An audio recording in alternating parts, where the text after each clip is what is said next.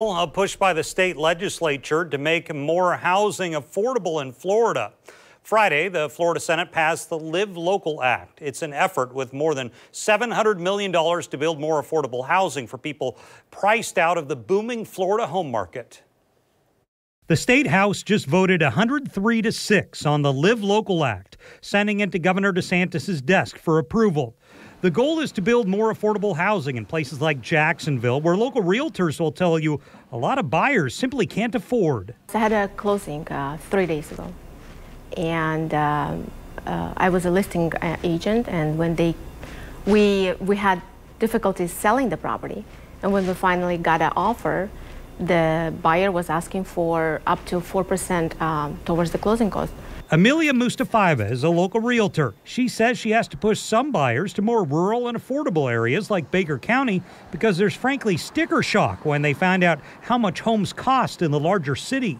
It's been like this for a couple years and we would expect them going a little down, but it's not and you know, people still need houses and they just can't afford it right now. So the bill will incentivize developers to invest in more affordable housing and development in areas that are economically struggling.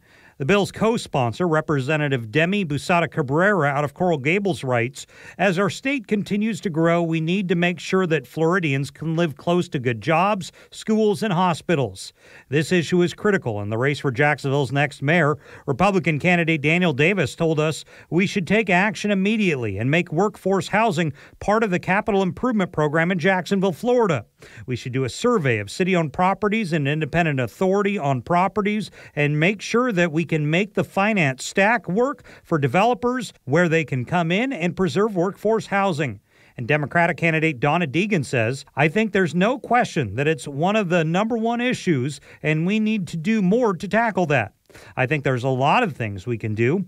I think we first of all need to look at all these vacant properties we have all over the city and see what we can do with that see if we can have nonprofits and more affordable housing in some of those vacant lot areas.